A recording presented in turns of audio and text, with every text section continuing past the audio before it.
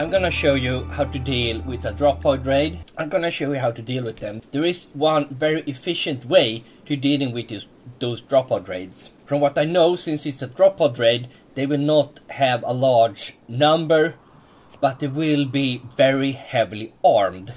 And for this to work, you have to have at least as many colonists as they have.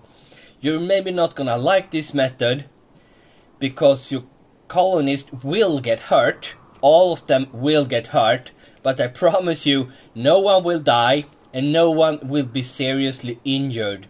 But this is probably the most effective way to deal with pod raids. They are heavily armored, so you don't want to shooting them because they will shoot back. So the only really good way to deal with them is melee. I'm not sure where they're gonna land, but I'm gonna draft all my colonists.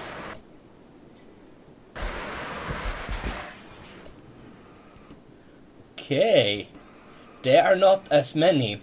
You, you can use the same method when dealing with ancient dangers, uh, those cryosleep pods. It's a lot better to melee them rather than... Uh, yeah, I don't know why there's only so few. U usually they send about 10 or something. Come on, a little faster. Closer, closer. And you are way. Come on, come on. Oh, I missed one.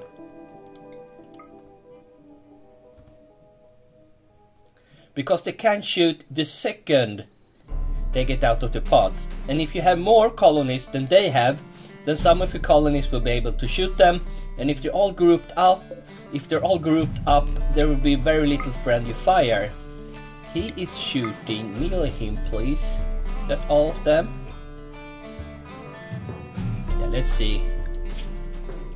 Bruce. Bruce. Bruce.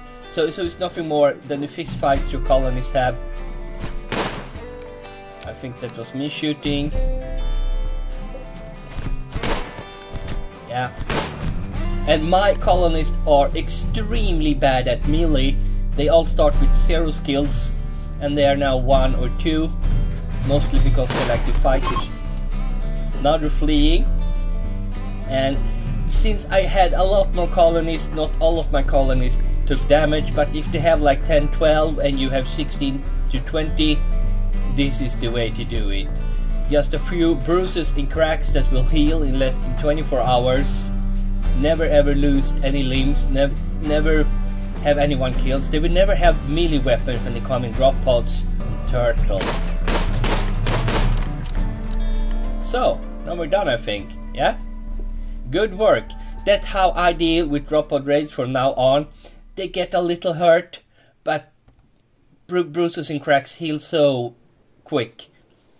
And you can take them down so fast. And the best thing is, they usually have grenades and molotovs and burn half your base down if you're trying to shoot them. Nothing got damaged. Maybe one of the walls got hit with a bullet I was firing, but this is the best way to deal with drop pod raids. And it works probably just as well with mechanoids. Uh, but you might get a little more damage if there are centipedes or scythers. Good luck there out on the rim.